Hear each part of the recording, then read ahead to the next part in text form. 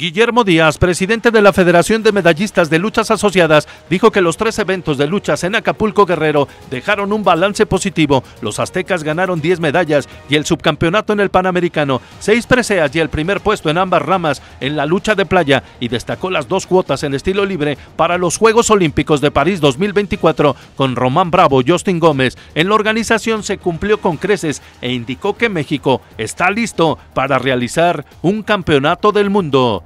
Deportes RTQ.